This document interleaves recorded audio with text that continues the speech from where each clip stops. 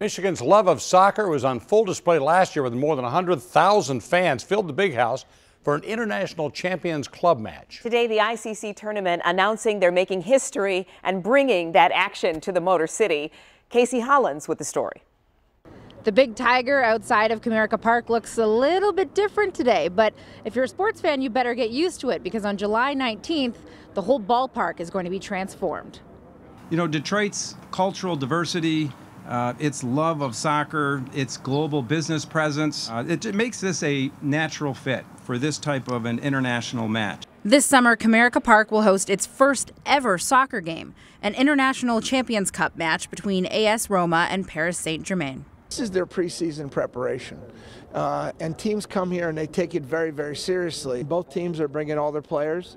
Relevant Sports Chairman Charlie Stillitano agrees with Chris Ilitch. Having an ICC game between these two clubs here was a no-brainer. You talk about Rome, Paris, and Detroit, and and you really you really can put them in the same sentence of what they've given you know given our society. MLB Network reporter Jon Morosi was on hand to host the news conference, and he says he believes that with international events like this one, Detroit is capable of being the number one sports town in America. I think these these two clubs are perfect. The timing's perfect. The setting is perfect.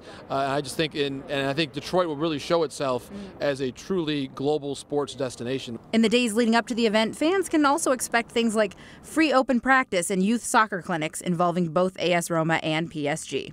The teams want to get into the community. They really think it's important to leave something. They're really trying to turn this into a family friendly event. Tickets start at just $25, but they do expect them to sell out pretty quickly. For now, reporting in downtown Detroit, Casey Hollins, 7 Action Sports.